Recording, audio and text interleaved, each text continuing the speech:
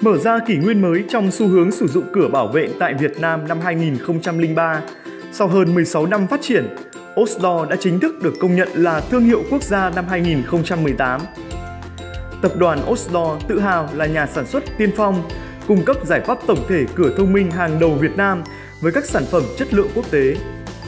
Cửa cuốn thông minh Oslo, thẩm mỹ hiện đại, an toàn vượt trội, kiểm soát an ninh. Cửa nhôm đồng bộ Topan, sản phẩm đồng bộ, sản xuất ủy quyền, bảo hành chính hãng.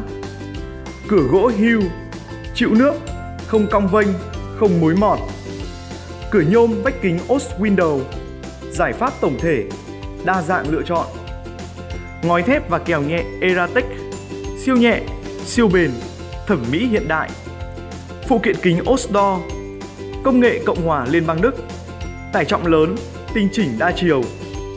Tập đoàn sở hữu hệ thống 5 nhà máy sản xuất tiêu chuẩn quốc tế trên toàn quốc bao gồm nhà máy Osdor Yên Mỹ, Osdor Phố Nối, Osdor Ninh Bình, Osdor Nghệ An, nhà máy Osdor Nhân Trạch với hơn 1.000 cán bộ công nhân viên.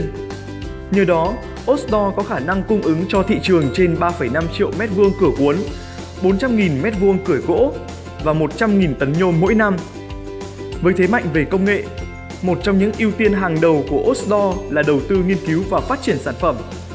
Các sản phẩm của Osdor đều được thiết kế tối ưu cho thị trường Việt Nam và sản xuất lắp đặt đồng bộ với mục tiêu duy nhất, mang tới những sản phẩm an toàn cho các gia đình Việt. Thiết lập hệ thống hơn 500 đại lý phân phối và 2.000 đại lý sản xuất được ủy quyền trên toàn quốc.